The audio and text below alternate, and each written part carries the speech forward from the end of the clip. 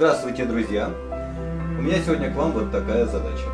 Очень часто на наших очных уроках э, выбирают работы балеринок, танцовщиц и даже вот обнаженочки какие-то такие нежные. Очень часто выбирают. И я хочу вам показать, как бы это можно было бы исполнить легко. Вы видите мутное пятно фоновое, очень мутное, э, мало внятного цвета. То есть это акварель, которую мы с вами переведем на язык масла. Но мутный характер, акварельный характер языком масла мы попытаемся сделать. Итак, фоновое пятно никакого цвета.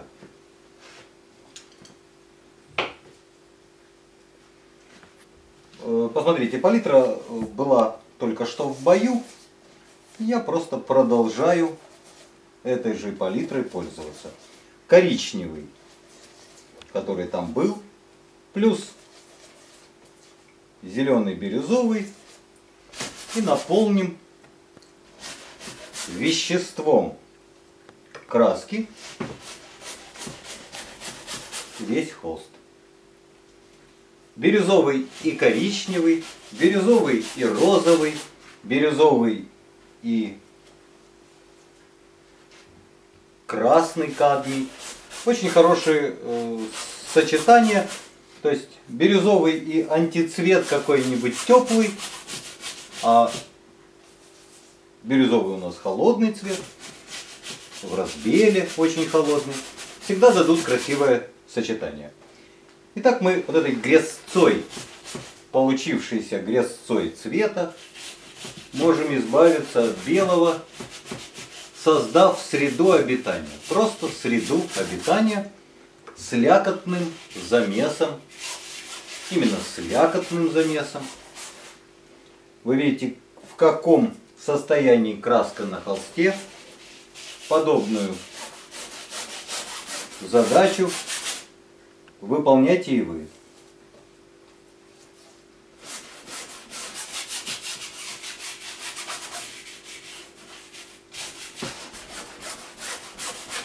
Обратите внимание на характер укладки, который я делаю. То есть я не раскрашиваю холст, не раскрашиваю. Я его запачкиваю с некоторой энергией движение кисти против шерсти, штриховательное звучание придаю.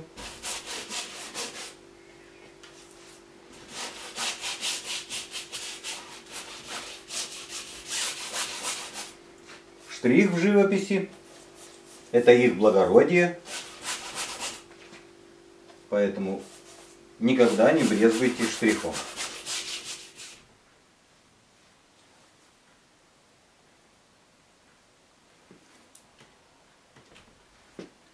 вот сейчас стало различимо, что голова явно крупновата. Поэтому съедим и лобик, и затылочек чуть-чуть. Вы видите, можно вымакиванием палец в тряпку. Постоянно пользуются тряпкой палец, чтобы уменьшить головочку. И еще раз обнаружим свет из-под теневой. На сей раз из-под смуглого теневого подбородка и тоже подотрем этот выразительный свет еще прежде, чем положим туда густую краску.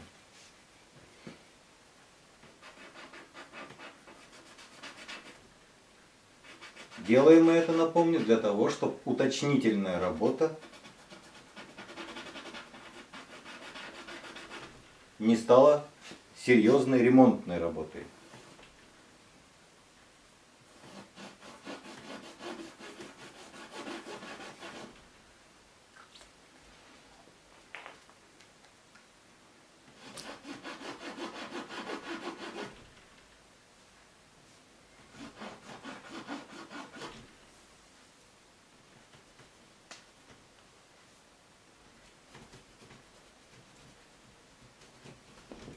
Хочу вам также сообщить, что когда мы рисуем конечности,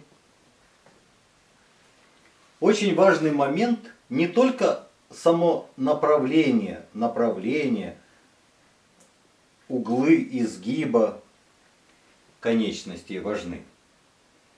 Но важны те геометрические фигуры, которые появляются между этими сгибами. Обратите внимание, практически квадратное состояние вот этого пятна между рукой и шеей и грудью. Вот эту трапецию для себя тоже внятно стоит определить, насколько она похожа на то, что сделано у нас. И тогда, когда мы некоторого результата правильного добились этих углов, можно двигаться дальше. Ну, сейчас я еще немножечко отсеку светом вот в этом пространстве, чтобы голова внятно отделилась от фона. Стала жить в пространстве.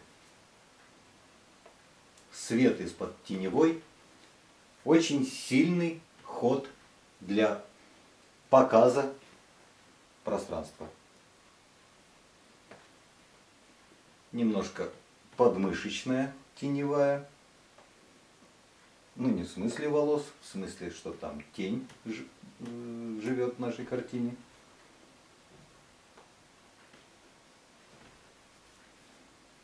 Несколько густая тень, несколько смуглая. Обратите внимание, нет нигде жесткого линейного рисунка. Все мутно, все призрачно. Касания вялые, тихие, тональности только на полтональности. Все это дает хорошие эффекты для всей картины. Вы видите, сейчас еще вот зеленоватость подложил. И головочка действительно прозвучала уже, как ягодка на свет. Она как будто прозрачная. Как пальчик, который на солнце мы смотрим, или ушко на солнце, смотрится, ну, как прозрачное, как стеклышко.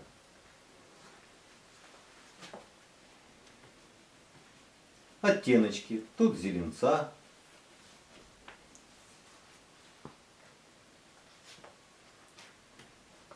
Тут розовиночка, штрих по форме.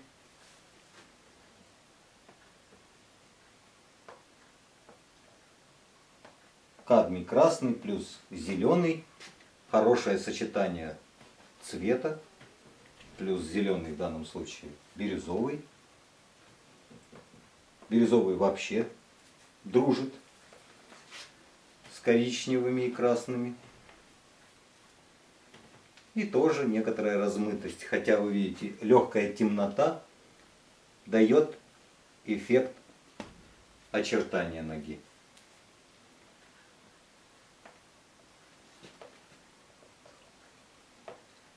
Тень от ноги здесь, которая тоже расползается в теневом мареве. зигзаг тени здесь. И вы видите, как в первый слой красиво и вкусно вписывается сейчас та небольшая мера краски, которую мы загоняем.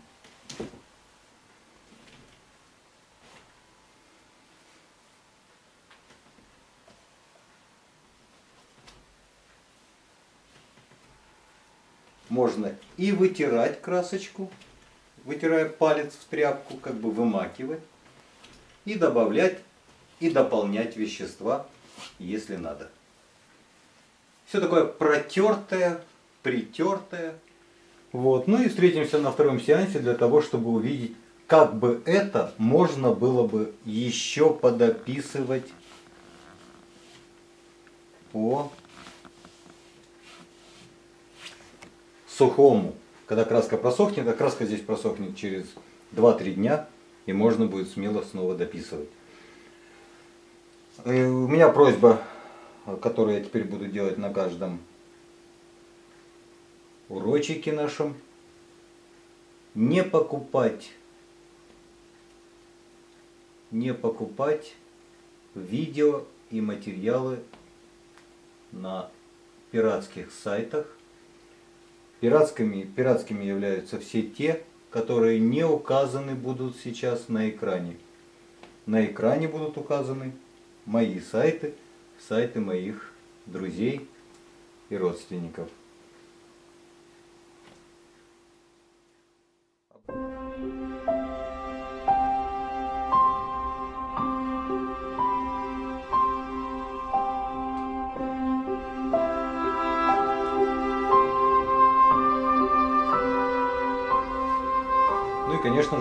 Пиратские сайты наносят экономический ущерб нашему делу, вашему обучению и моему стремлению создавать новые видео.